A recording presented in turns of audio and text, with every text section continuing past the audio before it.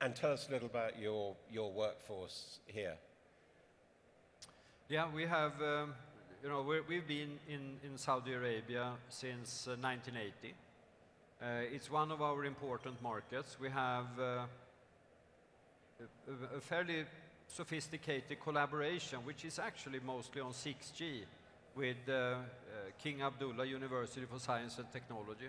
It's actually very important for us because it's, it, it's a uh, it's very good research program there that links into us.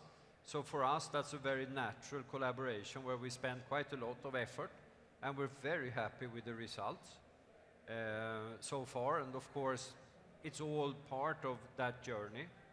Another part which I think is, is very interesting is of the, uh, the people we have recruited the last four years, 40% are females. And that's where we make, uh, have made an extra effort and continue to make an effort. And all from this country? All from this country. And uh, that, uh, you've been coming here for a while, and as you say, uh, Ericsson's been here for a long time. Quite a change. It is a change. It's a dramatic change. And um, I may, maybe coming here several times a year, actually, the, the changes, normally when you come that often, you don't see them because they're gradual. But in this country, I would say the changes have been so fast that it's actually visible even when you come several times a year. And if you look ahead to LEAP next year and the years beyond, what are the changes you're expecting to see here?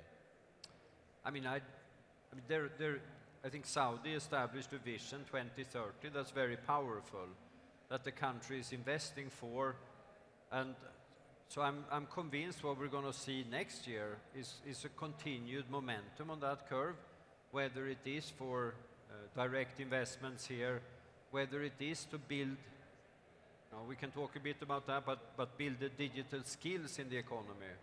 I think we're going to see a progression of those areas.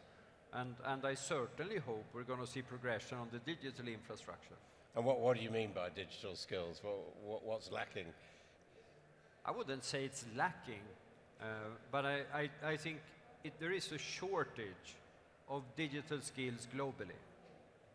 Uh, and that, with that, I mean, you know, at the higher end, it's programmers, coders, system engineers, mm. etc.